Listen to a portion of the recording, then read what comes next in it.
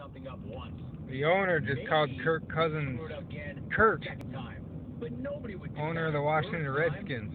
Not when you're referring to your quarterback and the face of the franchise. Right? Our goal was to sign Kirk to a long-term contract with a final objective. All right. All right. We're all human. This is Jim Rome radio show.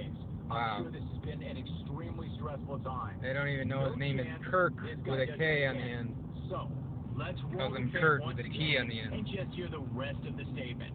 Not received any offer from Kurt's agent this year. Now there you go. One for the thumb.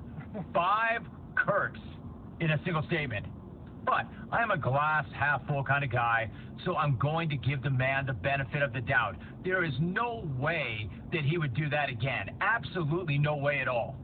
Kurt has made it clear that he prefers to play on a year-to-year basis. That's it. That's it. Now you're just trolling us. Did you seriously just refer to your starting quarterback as Kurt? Carl didn't want any of that? No love for Kip Cousins? Craig Cousins? Kev Cousins? Kareem Cousins?